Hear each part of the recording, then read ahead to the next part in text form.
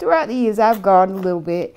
And out of 12 grandchildren, I've got one who I believe one day is going to be a, a great gardener because he loves to play in the garden with grandma.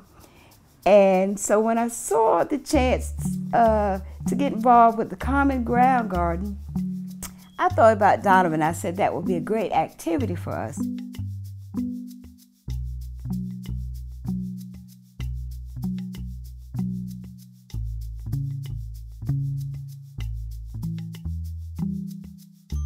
What I really like about gardening is just playing in the dirt and getting wet.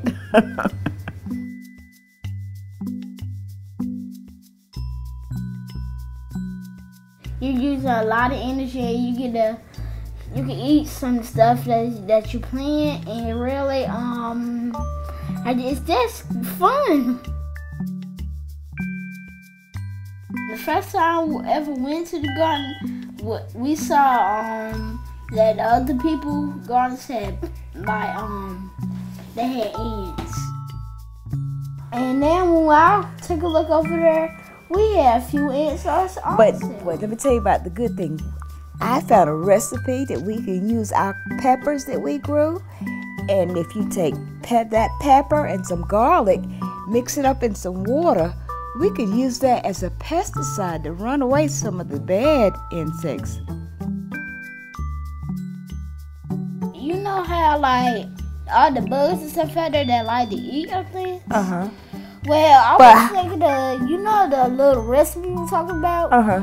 Add some, add some like a little bit of poison. No, no, because then we'll be doing the same thing. Then we'll be adding toxins back into the soil. We don't want to do that. We want to get the toxins out. So that's why I said if we do like the garlic and the cayenne pepper, we might can make some spray. And once they taste that spray, they say, mmm, I'm not going to eat that. Doesn't that sound better? Mm -hmm. Yeah.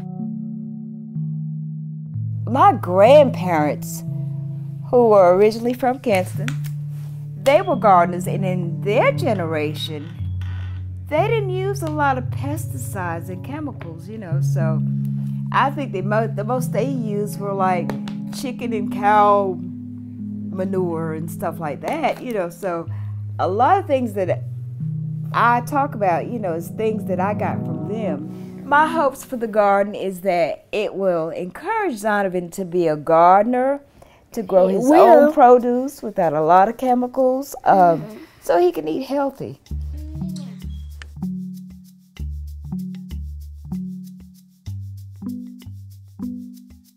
Took a little, you took a little sip of yours.